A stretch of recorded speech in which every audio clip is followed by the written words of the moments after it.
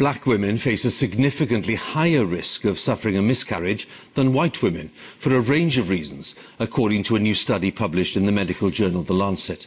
Uh, the researchers looked at data from more than 4 million pregnancies across uh, seven countries, including the UK, where it's estimated that at least one in five women will lose a pregnancy at some point in their lifetime.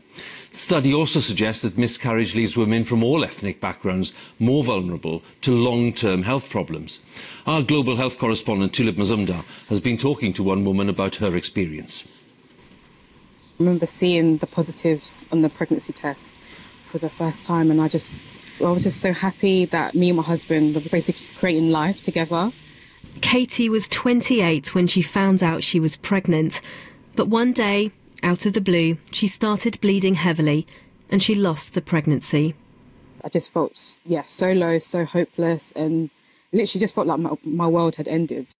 Katie was advised to try again and did become pregnant within a few months, but once again the pregnancy ended in miscarriage. Both were second trimester losses. It was like a like a blanket of heaviness over my whole body, over my mind, like a you know like a dark cloud. Um, and yeah, I just couldn't see any hope for a long time. So these are the memory boxes that we received at the hospital, so I'm so grateful for. Katie says she feels much stronger now to be able to talk about her losses. But this study found that black women are 43% more likely than white women to have a miscarriage. We're not sure why miscarriage is more common in black women, um, but we think it's a combination of factors.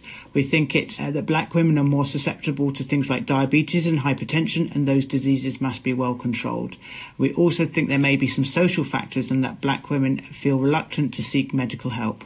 The research also saw a greater risk of other health complications for women from all ethnic groups the more losses they experienced. The risk of suffering with depression was more than twice as likely after one miscarriage and four times as likely after two or more losses. And although the numbers were low, women were still at four times the risk of suicide after one loss. They were also more vulnerable to developing blood clots and heart problems.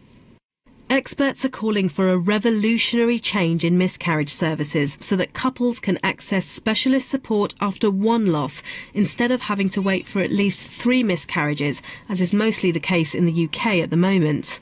Whilst miscarriage can be a very distressing thing for a woman to go through, it's important to be aware that most women go on to have a perfectly healthy baby. This research brings together what needs to happen, and that is after one miscarriage, we can learn from that by identifying simple things such as a woman stopping smoking, achieving a healthy body weight, or identifying simple medical conditions that can be treated. What's this? What's this? Katie is now proud mum to two year old little Maximus after receiving specialist treatment.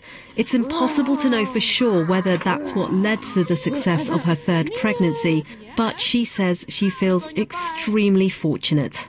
Tulip Mazumdar, BBC News.